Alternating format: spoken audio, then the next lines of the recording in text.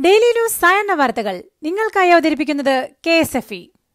എന്നാ ജയരാജ് അങ്കിൾ പറ കോവിഡിനുള്ള പ്രതിരോധം എന്താ? വാക്സിൻ. അങ്കിൾ വാക്സിൻ എടുത്തോ? അമ്പട കള്ള. ഞാനേ രണ്ടു തരം വാക്സിൻ എടുത്തതാ. ഒന്ന് കോവിഡിനുള്ളത്. അപ്പൊ മറ്റേതോ? അത് കുടുംബത്തിന്റെ സാമ്പത്തിക സുരക്ഷയ്ക്കുള്ളത്. കെ എസ് എഫ് ഇ ഭദ്രത സ്മാർട്ട് ചിട്ടികൾ സാമ്പത്തികാരോഗ്യത്തിന് കെ എസ് എഫ് ഇയുടെ വാക്സിൻ. നമസ്കാരം. ഞാൻ പ്രവീജ വിനീത്. ഡെയിലി ന്യൂസിന്റെ സായന്ന വാർത്തകളിലേക്ക് സ്വാഗതം. ഇന്ന് ജനുവരി പതിമൂന്ന് വ്യാഴാഴ്ച. കോവിഡ് ഒമിക്രോൺ തരംഗത്തെ ചെറുക്കാൻ സ്കൂളുകൾ അടച്ചിടുമോ? നാളെ മൂന്നിന് ചേരുന്ന കോവിഡ് അവലോകന യോഗത്തിൽ തീരുമാനമുണ്ടാകും. ഇക്കാര്യം ചർച്ച ചെയ്യാൻ വിദ്യാഭ്യാസ മന്ത്രി വി ശിവൻകുട്ടി മുഖ്യമന്ത്രി പിണറായി വിജയനെ കണ്ടു. സാങ്കേതിക വിദഗ്ധരുടെ അഭിപ്രായങ്ങൾ കൂടി പരിശോധിച്ച് നാളെ തീരുമാനമെടുക്കാമെന്നാണ് മുഖ്യമന്ത്രി നിർദ്ദേശിച്ചത്. തൈപ്പൊങ്കൽ പ്രമാണിച്ച് സംസ്ഥാനത്തെ ആറ് ജില്ലകളിൽ നാളെ അവധി. തിരുവനന്തപുരം കൊല്ലം പത്തനംതിട്ട ഇടുക്കി പാലക്കാട് വയനാട് ജില്ലകളിലാണ് അവധി. ശനിയാഴ്ച അവധി നൽകാനായിരുന്നു നേരത്തെയുള്ള തീരുമാനം. ഈ ജില്ലകളിൽ ശനിയാഴ്ച പ്രവൃത്തി ദിനമായിരിക്കും. ഉത്തർപ്രദേശിൽ ബി ജെ പിക്ക് കനത്ത തിരിച്ചടി നൽകി രണ്ട് എം എൽ എമാർ കൂടി രാജിവെച്ചു. മുകേഷ് വർമ്മയും വിനയ് ശാക്യുവുമാണ് രാജിവെച്ചത്. രാജിവെച്ച മുൻമന്ത്രി സ്വാമി പ്രസാദ് മൌര്യയ്ക്കൊപ്പം ബി ജെ പി വിട്ട മൂന്ന് മന്ത്രിമാരും ആറ് എം എൽ എമാരും സമാജ്വാദി പാർട്ടിയിലെത്തി. രാജിവെച്ചവരെല്ലാം പിന്നോക്ക സമുദായ നേതാക്കളാണ്. പിന്നോക്ക സമുദായങ്ങളെ യോഗി സർക്കാർ അവഗണിക്കുകയാണെന്ന് ആരോപിച്ചാണ് ഇവരെല്ലാം രാജിവെച്ചത്. ഉത്തർപ്രദേശ് നിയമസഭാ തെരഞ്ഞെടുപ്പിൽ കോൺഗ്രസ് ആദ്യ സ്ഥാനാർത്ഥി പട്ടിക പുറത്തുവിട്ടു. ഉന്നാവോ പെൺകുട്ടിയുടെ അമ്മ അടക്കം നൂറ്റി ഇരുപത്തിയഞ്ച് സ്ഥാനാർത്ഥികളെയാണ് ഇപ്പോൾ പ്രഖ്യാപിച്ചത്. പട്ടികയിൽ നാൽപ്പത് ശതമാനം സ്ത്രീകളും നാൽപ്പത് ശതമാനം യുവാക്കളുമാണ്. A I C C general secretary Priyanka ഗാന്ധിയാണ് പട്ടിക പ്രഖ്യാപിച്ചത്. നടിയെ ആക്രമിച്ച കേസിലെ പ്രതി ദിലീപിന്റെയും സഹോദരൻ അനൂപിന്റെയും വീടുകളിലും സിനിമാ നിർമ്മാണ കമ്പനിയായ ഗ്രാൻഡ് പ്രൊഡക്ഷൻസിലും പോലീസ് പരിശോധന. ക്രൈംബ്രാഞ്ച് എസ് പി മോഹനചന്ദ്രന്റെ നേതൃത്വത്തിലുള്ള പോലീസ് സംഘമാണ് ആലുവ പറവൂർ കവലയിലെ ദിലീപിന്റെ വീട്ടിൽ പരിശോധന നടത്തിയത്. അടച്ചിട്ട വീടിന്റെ മതിൽ ചാടിയാണ് അകത്ത് കടന്നത്. പിന്നീട് ദിലീപിന്റെ സഹോദരിയെത്തി ഉദ്യോഗസ്ഥർക്ക് വീട് തുറന്നുകൊടുത്തു. ഇരുപതംഗ ക്രൈംബ്രാഞ്ച് സംഘം അകത്ത് കയറി പരിശോധന തുടങ്ങി. കോടതിയുടെ അനുമതിയോടെയാണ് പരിശോധന. കൊച്ചിയിലെ കമ്പനിയിൽ ഡിവൈഎസ്പി ബൈജു പൌലോസിന്റെ നേതൃത്വത്തിലാണ് റെയ്ഡ്. കോവിഡ് നിയന്ത്രണങ്ങൾക്കിടയിൽ നാളെ ശബരിമലയിൽ മകരവിളക്ക്. തീർത്ഥാടകർ കുറവാണെങ്കിലും നല്ല തിരക്കുണ്ട്. കോവിഡ് നിയന്ത്രണം പൂർണമായി പാലിക്കാനാകുന്നില്ല. മുൻ വർഷങ്ങളിലേതിനേക്കാൾ തീർത്ഥാടകരും വരുമാനവും വൻതോതിൽ കുറഞ്ഞെന്ന് Devaswom board president K Ananthagopan. കവി എസ് രമേശൻ അന്തരിച്ചു. അറുപത്തിയൊൻപത് വയസ്സായിരുന്നു. കൊച്ചിയിലെ വീട്ടിൽ കുഴഞ്ഞു വീഴുകയായിരുന്നു.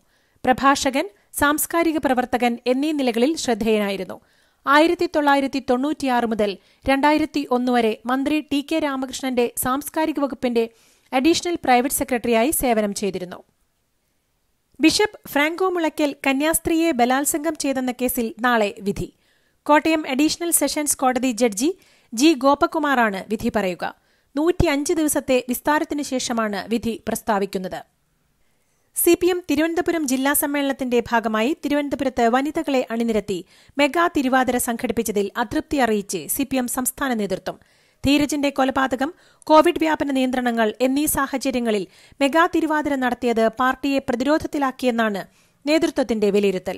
പരിപാടിയിൽ പങ്കെടുത്തതിന് അഞ്ഞൂറ്റി അമ്പത് പേർക്കെതിരെ പോലീസ് കേസെടുത്തിട്ടുണ്ട്. ശ്രീനാരായണ ഗുരു ശില്പമടങ്ങുന്ന കേരളത്തിന്റെ നിശ്ചല ദൃശ്യം കേന്ദ്ര സർക്കാർ റിപ്പബ്ലിക് ദിന പരേഡിൽ നിന്ന് ഒഴിവാക്കിയത് അവഹേളനമാണെന്ന് സിപിഎം സംസ്ഥാന സെക്രട്ടറി കോടിയേരി ബാലകൃഷ്ണൻ. നവോത്ഥാന നായകനായ ശ്രീനാരായണ ഗുരുവിനെ കേന്ദ്ര സർക്കാർ അപമാനിക്കുന്നതിൽ പ്രതിഷേധിക്കുന്നു.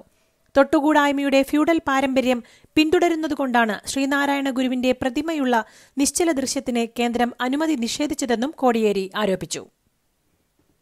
ഉജാലയുടെ സ്ഥാപകനായ ശ്രീ എം പി രാമചന്ദ്രന്റെ നേതൃത്വത്തിൽ പുതിയതായി പ്രവർത്തനം ആരംഭിച്ച ഹെയർ കെയർ പ്രോഡക്ട്സ് നിർമ്മിക്കുന്ന സഹ്യാദ്രി ബയോ ലാബ്സ് എന്ന സ്ഥാപനത്തിനു വേണ്ടി ഡിസ്ട്രിബ്യൂട്ടേഴ്സിനെ ക്ഷണിക്കുന്നു.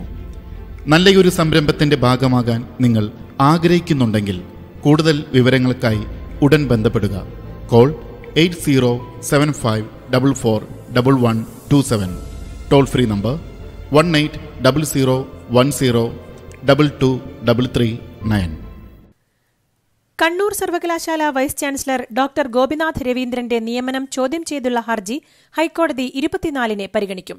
ഗോപിനാഥ് രവീന്ദ്രനെ വിസിയായി തുടരാമെന്ന് ഹൈക്കോടതി സിംഗിൾ ബെഞ്ച് ഉത്തരവിട്ടിരുന്നു. ഇതിനെതിരെ സേവ് യൂണിവേഴ്സിറ്റി ഫോറം അപ്പീൽ സമർപ്പിച്ച ഡിവിഷൻ ബെഞ്ചാണ് കേസ് ഇരുപത്തിനാലിലേക്ക് മാറ്റിയത്.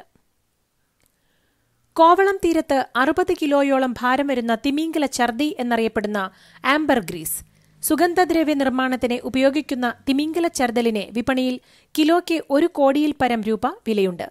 തിമിംഗലങ്ങൾ ഛർദ്ദിക്കുമ്പോഴോ അവ ചത്തുപോകുമ്പോഴോ ആണ് ഇത് കരയ്ക്കടിയുന്നതെന്ന് വിഴിഞ്ഞത്തെ കേന്ദ്ര മത്സ്യഗവേഷണ കേന്ദ്രം അധികൃതർ പറഞ്ഞു.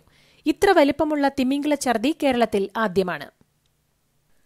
അഡ്വക്കേറ്റ് എ ജയശങ്കറിന്റെ പാർട്ടി അംഗത്വം പുതുക്കി നൽകാൻ സിപിഐ തീരുമാനിച്ചു. സർക്കാരിനെ വിമർശിച്ചുകൊണ്ട് ചാനൽ ചർച്ചകളിൽ പങ്കെടുക്കുന്നതിനാലാണ് അംഗത്വം പുതുക്കാതിരുന്നത്. ജയശങ്കർ നൽകിയ വിശദീകരണത്തിൽ പാർട്ടി അന്വേഷണം നടത്തിയ ശേഷമാണ് അംഗത്വം പുതുക്കി നൽകാൻ തീരുമാനിച്ചത്.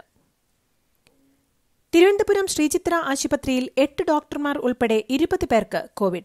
ഓപ്പറേഷൻ തിയേറ്റർ അടച്ചു. അടിയന്തര ചികിത്സ ആവശ്യമുള്ള രോഗികൾക്ക് മാത്രമേ ആശുപത്രിയിലേക്ക് പ്രവേശനം അനുവദിക്കുന്നുള്ളൂ. എം എസ് എഫിൽ സംസ്ഥാന ജനറൽ സെക്രട്ടറി ലത്തീഫ് തുറയൂരിനെ സ്ഥാനത്ത് നിന്ന് നീക്കി. എം കെ മുനീറിന്റെ നേതൃത്വത്തിലുള്ള പാർട്ടി അന്വേഷണ സമിതി റിപ്പോർട്ടിന്റെ അടിസ്ഥാനത്തിലാണ് നടപടി. ഹരിത വിഷയത്തിൽ പി കെ നവാസ് വിരുദ്ധ പക്ഷത്തായിരുന്നു ലത്തീഫ് തുറയൂർ. നിലവിലെ എം എസ് എഫ് സംസ്ഥാന സെക്രട്ടറിമാരിലൊരാളായ ആബിദ് അറങ്ങാടിക്ക് പകരം ചുമതല നൽകി. കഴിഞ്ഞ ഏഴു വർഷത്തിനിടെ രാജ്യത്തെ മെഡിക്കൽ കോളേജുകളുടെ എണ്ണം അമ്പത്തിനാല് ശതമാനം വർദ്ധിച്ചെന്ന് പ്രധാനമന്ത്രി നരേന്ദ്രമോദി. രണ്ടായിരത്തി പതിനാലിൽ മുന്നൂറ്റി എൺപത്തിയേഴ് മെഡിക്കൽ കോളേജുകളായിരുന്നു. ഇപ്പോഴത് അഞ്ഞൂറ്റി തൊണ്ണൂറ്റിയാറ് മെഡിക്കൽ കോളേജുകളായി ഉയർന്നു. ഏഴ് എയിംസ് മാത്രമേ ഉണ്ടായിരുന്നുള്ളൂ. ഇപ്പോൾ എയിംസുകളുടെ എണ്ണം ഇരുപത്തിരണ്ടായി. തമിഴ്നാട്ടിൽ പതിനൊന്ന് മെഡിക്കൽ കോളേജുകളും ചെന്നൈയിലെ സെൻട്രൽ ഇൻസ്റ്റിറ്റ്യൂട്ട് ഓഫ് ക്ലാസിക്കൽ തമിഴിന്റെ പുതിയ ക്യാമ്പസും ഉദ്ഘാടനം ചെയ്ത് പ്രസംഗിക്കുകയായിരുന്നു പ്രധാനമന്ത്രി നരേന്ദ്രമോദി. ഇറ്റാലിയൻ സൂപ്പർ കപ്പ് കിരീടത്തിൽ മുത്തമിട്ട് ഇന്റർ മിലാൻ. ഫൈനലിൽ കരുത്തരായ യുവൻസിനെ തകർത്താണ് ഇന്റർ കിരീടത്തിൽ മുത്തമിട്ടത്. ഒന്നിനെതിരെ രണ്ട് ഗോളുകൾക്കാണ് ഇന്ററിന്റെ വിജയം. ഒരു ഗോളിനെ പിന്നിൽ നിന്ന ശേഷം ഇന്റർ തിരിച്ചടിക്കുകയായിരുന്നു. ടോട്ടനം ഹോട്ട്സ്പറിനെ തകർത്ത് ഇംഗ്ലീഷ് ഫുട്ബോൾ ലീഗ് ഫൈനലിൽ പ്രവേശിച്ച് ചെൽസി. രണ്ടാം പാദ സെമി ഫൈനലിൽ എതിരില്ലാത്ത രണ്ട് ഗോളിനാണ് ചെൽസിയുടെ വിജയം. ആവേശം വാനോളമുയർന്ന Spanish super cup semi final പോരാട്ടത്തിൽ ചിരവൈരികളായ ബാഴ്സലോണയെ തകർത്ത് റയൽ മാഡ്രിഡ്. എക്സ്ട്രാ ടൈം വരെ നീണ്ട എൽ ക്ലാസിക്കോ മത്സരത്തിൽ രണ്ടിനെതിരെ മൂന്ന് ഗോളുകൾക്കാണ് റയലിന്റെ വിജയം.